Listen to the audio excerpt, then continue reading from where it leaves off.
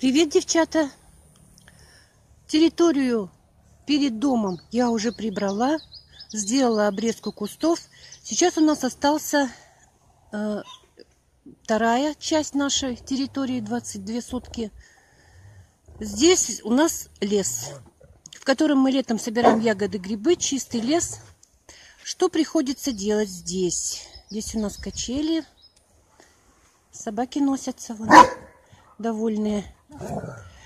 Здесь я собираю хвою опавшую в такие вот кучки. И сейчас это все будет складываться в мешки и вывозиться. Почему собирается хвоя? Потому что будет обрабатываться участок от клещей. И в этой хвое очень хорошо себя чувствуют клещи.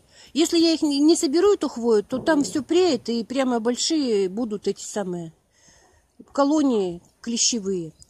Э, раствор для обработки участка я беру в своей СЭС. Здесь у нас есть санэпидемстанция.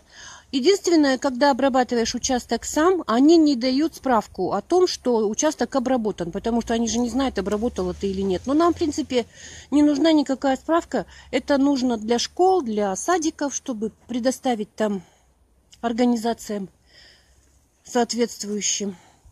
Мы обрабатываем участок для себя. Э, этот участок, который я сейчас обработаю, он у нас закрывается. Вот там вот видно, воротца у нас есть. Видите ворота вот? Животные сюда в течение недели заходить не будут. Они будут на том участке, где все убрано уже. Вот. Если этот участок не обработать от клещей, то здесь будет невозможно, конечно же, бродить, потому что лес у нас рядом. Вот он прямо рядом. Клещи прыгать не умеют, но их сюда заносят птицы, ежики, белки. Вот такое вот у нас тут чудо.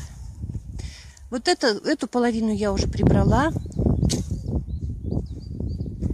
Как смогла, подмела, сделала обрезку кустов.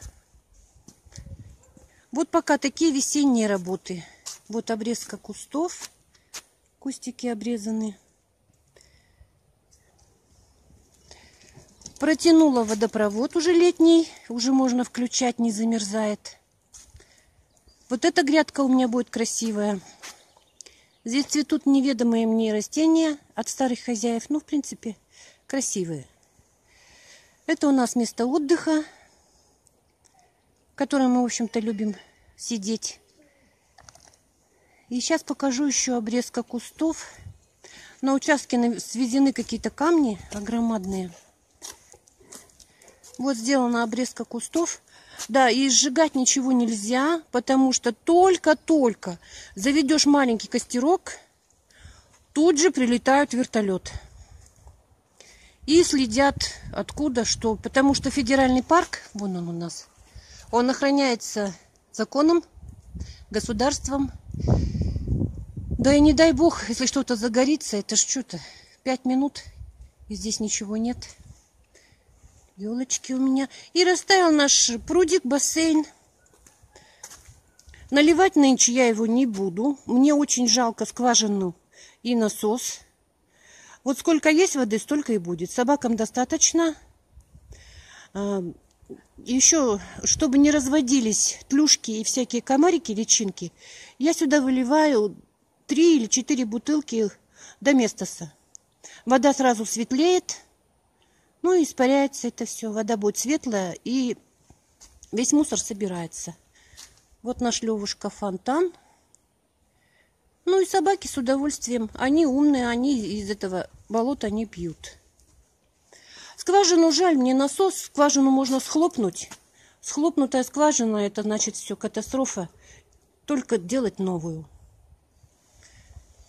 Шашлычки давно не делали. И потихонечку, смотрите, все зеленеет уже, цветет. Ну вот, девчата, пойду потихонечку работать. Сегодня день теплый. Будет это делаться с удовольствием. И заодно с собаками побегаю, поиграю. Пока-пока.